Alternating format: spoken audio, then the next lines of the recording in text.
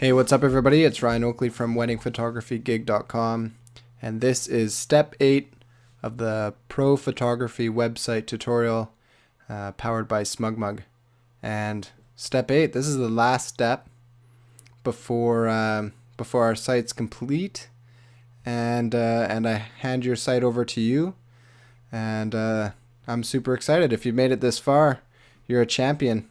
You've made it through some uh, some pretty long videos and uh, and uh, through my voice for quite a long time. So that in and of itself is worthy of congratulations. But beyond that, you are getting very close to having your full uh, photography website up and running, ready to show clients and get uh, get new clients and all that fun stuff. So in this last video, we are going to be doing just some little customization tweaks so some of the some of the tweaks that we're going to be doing here, uh, they're quite small, but they're ones that I really think should be done to really clean up this site. So one of the first things I'm going to do is go back to our Easy Customizer and fix up this uh, this footer section here that SmugMug has by default. After that, we're going to go into the custom style sheets, the CSS stuff, which is where the advanced customization comes in. But one thing we're going to do is push down our whole page a little bit uh, away from the top so that just gives us a little bit of white space that I, I feel like I want to create. And I'll uh, go into visitor view and just show you what I mean here.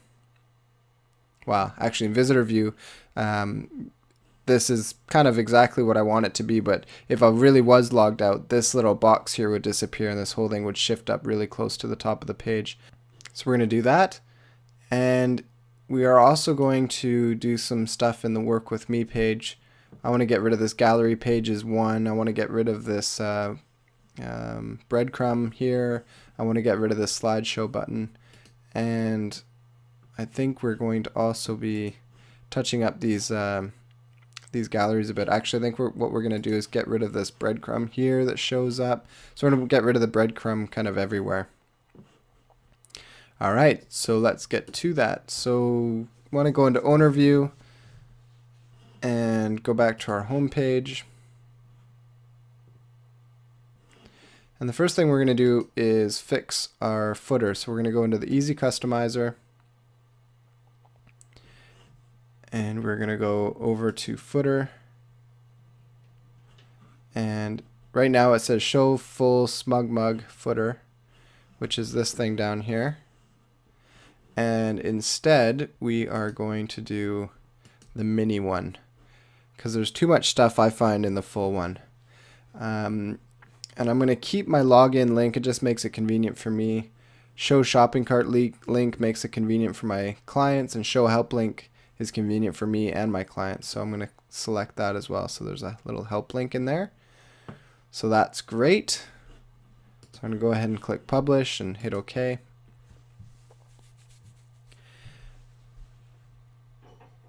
And from within our easy customizer screen, we can also hit this advanced site-wide customization.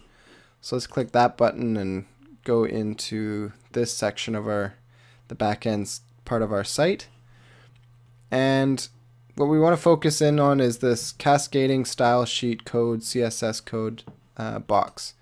And this is where you can do magical things with your site, pretty much anything you want uh, can be done through this CSS code and some of these other boxes um, to have a better understanding of what all this stuff is. I am not an expert on customizing sites and getting into the um, really crazy nuts and bolts of what can happen so or what you can do. So instead, I will just show you where you would get help and where you would start. Because once you do have your site up and running and you finish this tutorial, you may very well want to make a whole bunch of changes and you can do that um, start here, going into that help section, advanced look using CSS and HTML, and just follow, read all of this stuff, and it will guide you.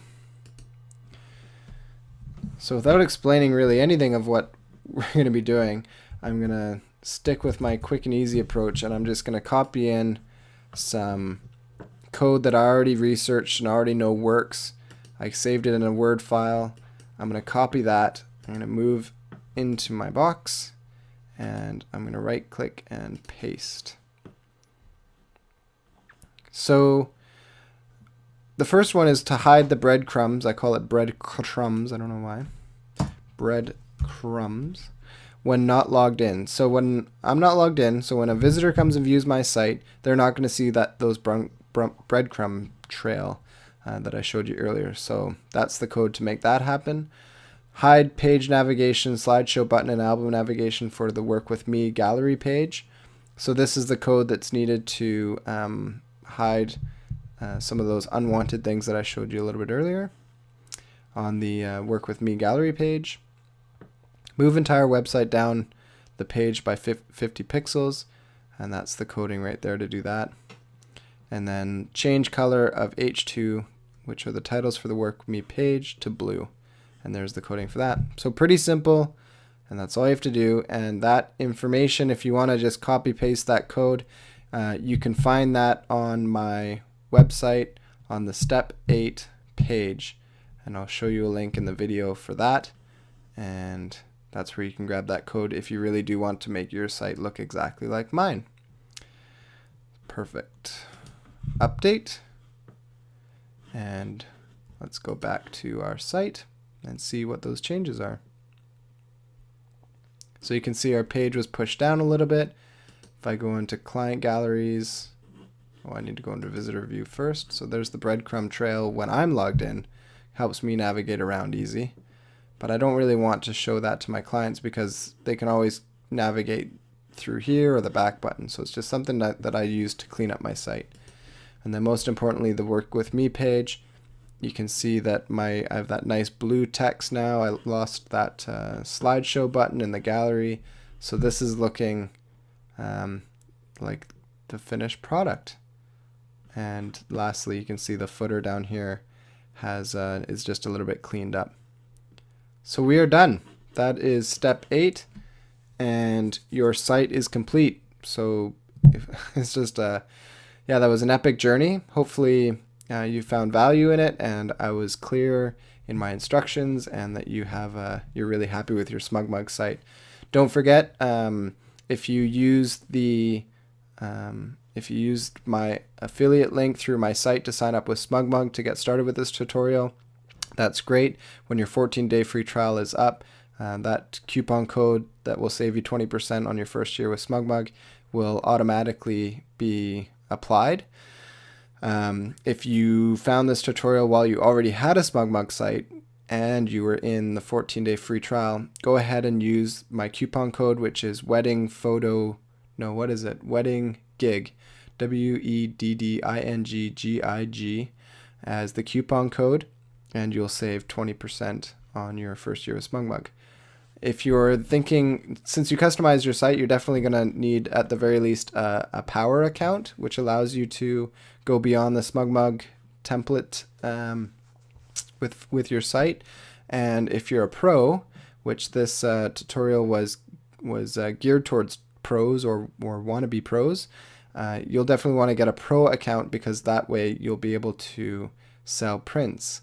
And speaking of selling prints, uh, I am going to be creating a bonus video, a bonus tutorial, which will show you how to set your prints or set your prices on your prints and uh, the things that people can buy through your SmugMug site so that you can make a profit, which is a wonderful thing.